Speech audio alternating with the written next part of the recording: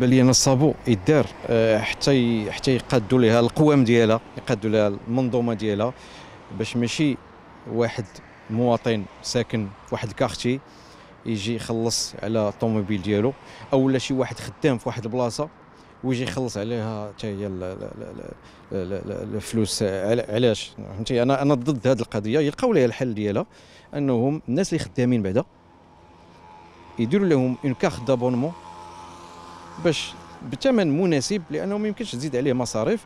وثانيا الناس ديال ال quartier ديال فين ساكن المواطن أنه ما يخلصش normalement ما خصوش يخلص.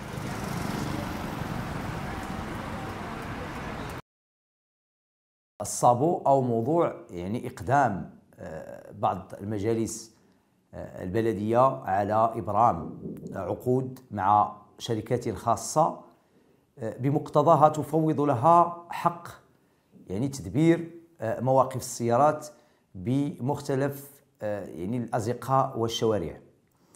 ويترتب عن هذه العقود أن هذه الشركات تقوم بفرض إتاوات ومبالغ آه، مالية مقابل على الأفراد مقابل ركن سيارتهم بالطرق العمومية وفي حالة عدم الأداء. وهذا هو الخطير في مثل هذه العقود أن يعني هذه الشركات تخول لها المجالس الجماعيه أن تقوم بمهام الشرطة الإدارية والمتمثلة في عقل السيارات باستعمال الصابو وإكراه وإجبار أصحاب السيارات ومالكيها على الأداء مقابل رفع عملية العقل على السيارات. هذا النقاش الذي واكب هاد العم- المسألة ديال الصابو بشكل عام لأن العنوان البارز ديالها ولا الاسم باش معروفه هي الصابو. وغنستعملوا هذا المصطلح هذا باش هو اللي كيعبر عليها. هذا النقاش يعكس وجود تطور إيجابي في تعاطي المواطن المغربي ومعه الرأي العام مع القضايا العمومية والقضايا المرتبطة بالملك العمومي الذي أصبح شأنا عاما وأصبح هناك يعني من خلال آه، إيقاع النقاش أن المغاربة واعون بأنهم شركاء في آه، إبداء رأيهم ومواقفهم وهم معنيين بكل ما يعني بكل العمليات أو التصرفات القانونية التي تقع على الفضاء العام اللي هو آه، ملك مشترك. بخصوص يعني القضاء إلى رجعت للقضاء الإداري ربما يعني أعطى كلمته بخصوص طبيعة هذه العقود باعتبار أن هناك العديد من القرارات الإدارية الصادرة عن المحاكم الابتدائية الإدارية والمحاكم. الاستئناف أقرت بعدم مشروعية الصابو بل بالمقابل أقرت حق يعني المتضررين من الحصول على آه، تعويض.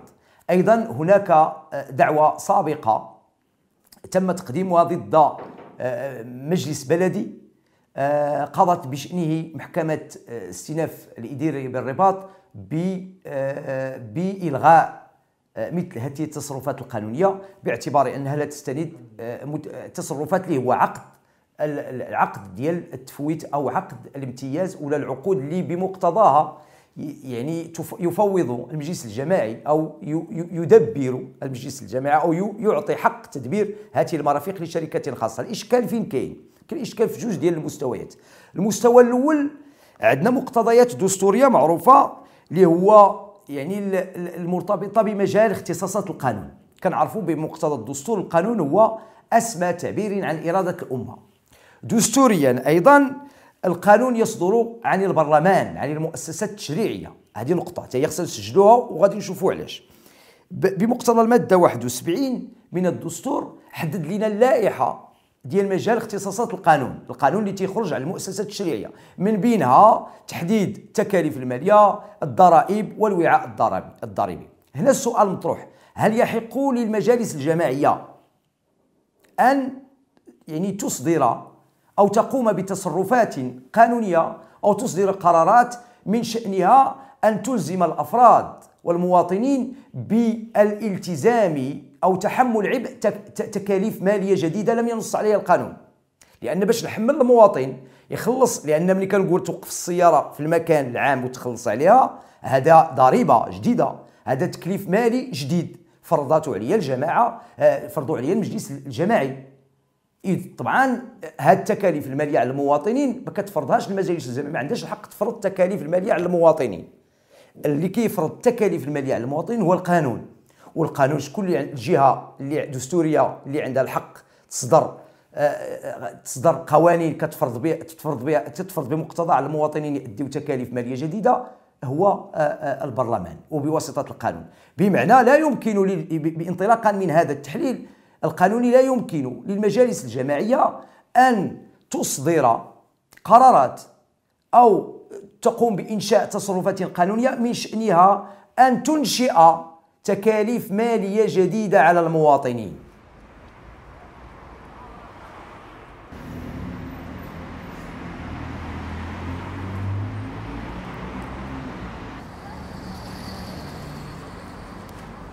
هل يحق للمجالس الجماعية التي تبرم هذه العقود مع الخواص أو مع الشركات الخاصة؟ وكنعتبروها الخواص لأن ماشي ما عندهمش آه، ماشي هيئات عمومية. اللي هما هاد الشركات هادو والعمال ديالها واش هاد العقد هذا تمتد الصلاحيات الممنوحه لهاد لهاد الجهات الخاصة وهاد الشركات إلى أن يقوم أن يقوموا ويباشروا مهام عمومية أن يباشروا مهام الشرطة الإدارية المخولة بمقتضى المادة 50 من الميثاق الجماعي حصريا لرؤساء الجماعات أو لرؤساء المجالس الجماعية فقط. هما اللي عندهم؟ الحق يمارسوا مهام الشرطة الإدارية ولا يمكن لهم أن يفوضوا أن يفوضوا هذه المهام. ما كاينش إمكانية تفويض للشركات الخاصة. شنو هما هذه المهام؟ هما هذه المهام ديال يعني اللي كتاخذ فيها قرارات تنظيمية في إطار تدبير مجموعة من من المجالات بما في ذلك تنظيم تنظيم يعني تدبير الوقوف وقوف العربات في المرافق ديال الجماعة أنه يدير قرارات بالمنع. بالإذن وكذلك بالأمر. ملي كنقولوا غتعطي غتفوض لأن باش دير باش تعقل السيارة هذا من مهام الشرطة الإدارية. يعني باش تعطي الحق لشركة خاصة والعمال ديال شركة خاصة يقوموا بهذه المهام يعني فوضتي لهم اختصاصات ديالك حصريا اللي كاينة في, المادة 50 اللي انت اللي خصك تقوم بها كرئيس. المجلس الجماعي فوضتها لاشخاص خاصة اللي القانون كيمنع بتاتا أن تفوض لهم هذه الصلاحيات. إذا نحن أمام واحد المساله آه، غير قانونية وغريبة وغير منطقية وتساهم في إحساس المواطنين أحيانا بعدم تقبل هذا الوضع بعدم سيادة القانون اللي هو أسمى تعبير عن إرادة الأمة. عندما يقوم فرد ما بركن سيارته ولم يؤدي هل من يعني من المقبول قانونيا أن يأتي عامل ديال شركة ويقوم بعقل سيارته لإجباره على الأداء؟ كاينة واحد التخريجة كدار أنا كنعتبرها غير قانونية لأن في التخريجة اللي كدار شنو تيدار تيجي العامل ديال الشركة كاين واحد نوع من محاولة صنع أوضاع لاعطاء المشروعية لهذا الفعل الغير مشروع. كيجي العامل ديال الشركة كيدير لك الصابو. هو دار مهام ديال الشرطة ديال ديال ديال الشرطة الإدارية اللي من اختصاص الرئيس.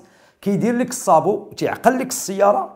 من بعد لإضفاء نوع من المشروعية كيجي معاه واحد من من من موظفي آه، البلدية اللي كيتسموا يعني كيقوموا بمهام الشرطة الإدارية بتفويض من الرئيس. كيجي عاد تيدير المحضر. أصلا العملية ديال الفعل ديال ممارسة مهام الشرطة الإدارية المنع منعتيني. عقلتي لي السياره منعتيني يعني مارستي مهام الشرطة الإدارية. عاد كيجي هذاك تيدير لك محضر بمعنى هل يعني هذه العملية هذه لا يمكن لها أن تصنع وضعا يمكن من خلاله أن نمنح المشروعية لهذا الفعل.